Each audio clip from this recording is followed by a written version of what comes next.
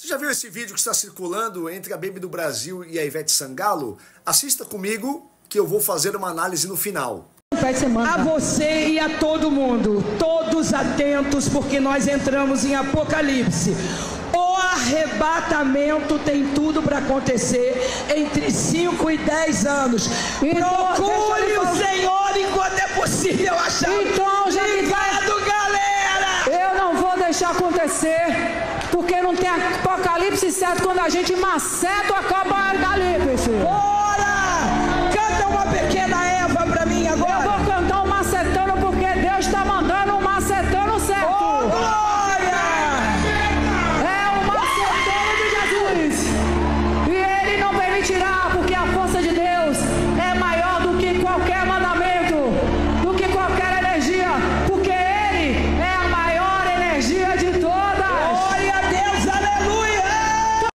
Muito interessante porque a Bíblia do Brasil representa a espiritualidade evangélica majoritária do evangélico médio, essa coisa de misturar crenças místicas sem muito aprofundamento bíblico, essa ideia do arrebatamento secreto que antecede a grande tribulação, essa coisa misturada com teorias da conspiração sobre o fim dos tempos, sendo levada para a grande mídia. A Bíblia do Brasil no passado acreditava em OVNIs, ETs, energias, a chegada da nova era, da era de aquário, e agora ela tem uma versão evangélica desse misticismo natural que ela carrega na personalidade dela. Do outro lado você tem a Ivete Sangalo, que é uma pessoa que não é evangélica, ouvindo uma coisa que ela não compreendeu, reagindo como uma pessoa que não entende do que está sendo falado, reagiria. Então esse vídeo é interessante porque mostra uma dinâmica muito comum do evangélico que fala de coisas que não entende, que não extraiu da Bíblia, não extraiu de boa teologia, e das pessoas que não são cristãs reagindo essa ignorância, esse caldo cultural estranho que tem acontecido no Brasil.